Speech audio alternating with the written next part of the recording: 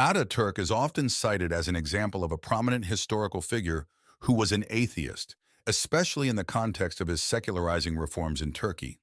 His policies include abolishing the caliphate, closing religious courts and schools, banning religious attire in public offices, introducing a secular education system, replacing Islamic law with a secular civil code.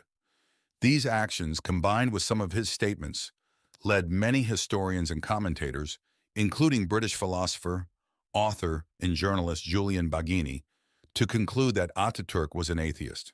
In August 1942, Hitler remarked, How fast Kemal Ataturk dealt with his priests is one of the most amazing chapters of history.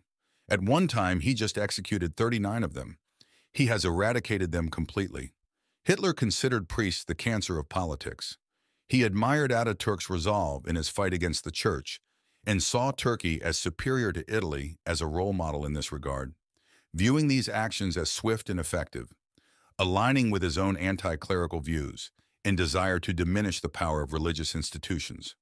Ataturk was Hitler's shining star in the darkness. The Third Reich instituted a veritable cult of Ataturk. The Nazi admiration provides a lens for a fresh look at Kemalism. In spite of its pretensions to stand for enlightenment, Ataturk's regime was authoritarian in nature. Ataturk's Turkey was celebrated as the first non-communist one-party state. In 1931, Mussolini agreed with the judgment that, among all the post-war dictatorships, Mustafa Kemal's regime was the most successful one.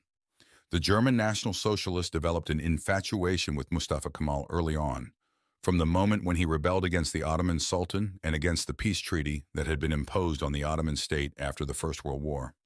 Newspapers repeatedly called for the application of Turkish lessons to Germany. The National Socialists were strongly motivated by the Turkish War of Independence in their endeavors to liberate Germany.